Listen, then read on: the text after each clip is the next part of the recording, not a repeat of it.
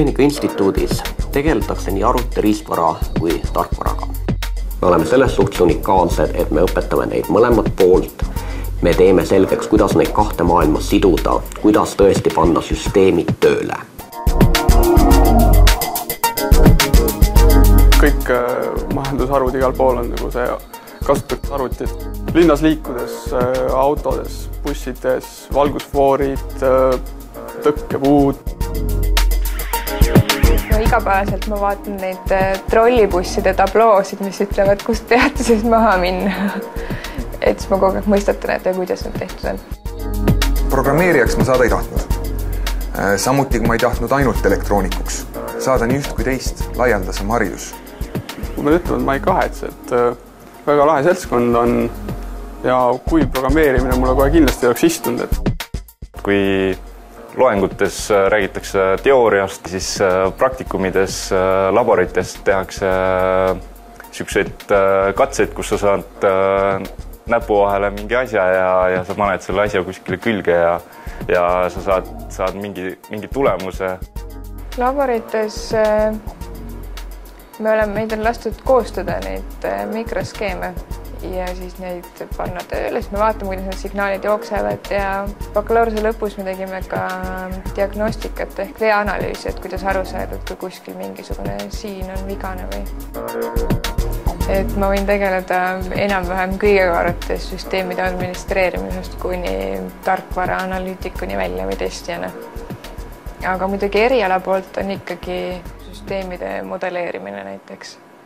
meie põhiline teadustöö toimub kõik koostöös erinevate Lääne-Euroopa ülikoolidega.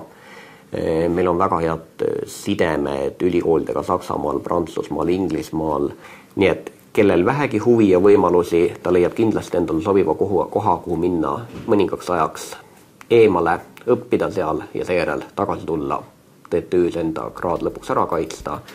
variandid on väga erinevad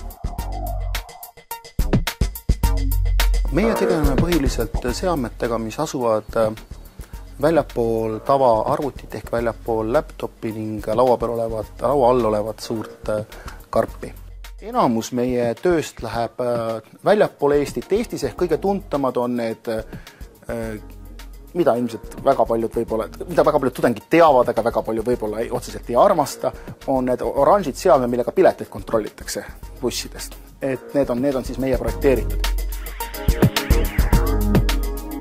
lõpetasin Arvutitehnika Instituudi äh, aastal kaks tuhat neli. pärast Arvutitehnika Instituudi, kus ma sain bakalaureuse äh, ma käi-, läksin Londoni, Londoni ülikooli, kus ma õpetasin natuke teist suunda, et see oli elektrooniline kommerts.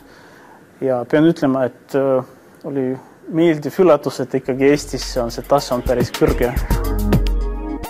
selleks, et aru saada, kuidas töötab äh, tarkvara, on tihti vaja teada, kuidas töötab riistvara selle all ja see on niisugune basic knowledge ehk siis nagu alus äh,, mille peale sa võid hiljem ehitada oma äh, tarkvarakogemusi.